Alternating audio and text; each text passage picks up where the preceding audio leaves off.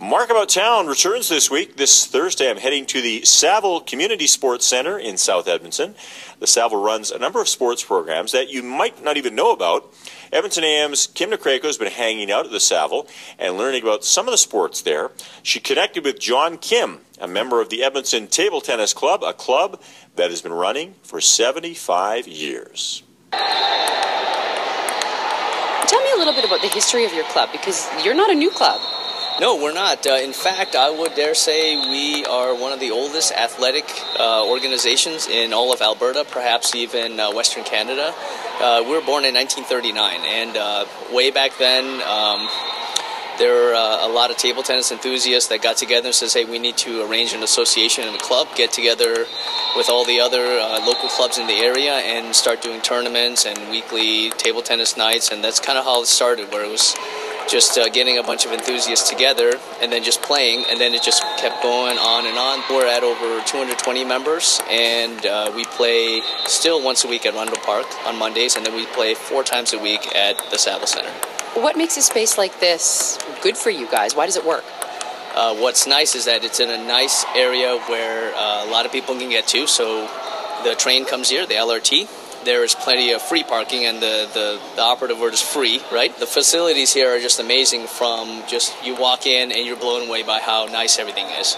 Uh, free locker rooms, um, you know, concessions, uh, you name it, everything. The nice wide hallways, great lighting. The gyms are hardwood floors. Uh, a lot of gyms in other community centers are rubberized or they're not as high quality. These are actually, um, you know, uh, international competition quality floors. The lighting is excellent. So th- these are all things that are important for table tennis as a sport. Is the lighting, the conditioning, the the floor quality, the acoustics. Believe it or not, also matter too. So it's it's the sound carries, but it's not so reflective at times. So there, there's a lot of things going for it here. So.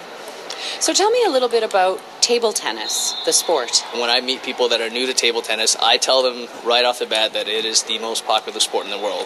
And I get this look of, uh, you know, this look of incredulity. They're like, how can it be the most popular sport in the world? I said, let me explain. From a pure participation and competition and, and just the ubiquity of the sport, uh, you know, I ask people, how many people do you know in your family or your friends that have a ping pong table in their garage or their basement? Lots, right? So that's why I like to say it's the most popular sport in the world because the tables you will see everywhere, and it's one of those sports. It's not intimidating at all. It's not like throwing a fastball at you like playing baseball. So you got that. You got a paddle. Wear some shoes, decent athletic gear. It's very inexpensive, and you just stand, and then it's so intuitive. If I toss the ball at you, you're gonna hit it and it's so easy to play. So it's easy to play, and it's so inexpensive to get involved in. So that's what makes it so relatable, and that's the other reason why I think it's the most popular sport in the world. Those reasons, yeah. So tell me a little bit about the members that you have here. Our membership has grown uh, significantly in the last 10 years. Our members, uh, you know, we have quite a few seniors in our in our membership. I'd say about uh, roughly half of our members are seniors. You know, rest are um, adults from uh, age 18 to 60. Then we have uh, quite a few students. We have students from the University of Alberta. We have high school students that come here every Friday. We also you also see a lot of uh, mothers and fathers here that drop their kids off for our jun- weekly junior training. So we have junior group training where we set aside two tables, and we have a professional coach that uh, is part of our club that uh, coaches every week, and he also coaches throughout the week as well. It's kind of a every person's club. You'll see a good demographic of Edmonton at our club. John Kim with the Edmonton Table Tennis Club at the Saville Center in South Edmonton. We're going to be at the Saville this Thursday for Mark About Town. Join me for free fitness. Lots of great stories, free coffee and muffins from Hat Tricks Restaurant, setting up in the Saville West Stores. Big bronze entrance. Hope to see you there on Thursday morning.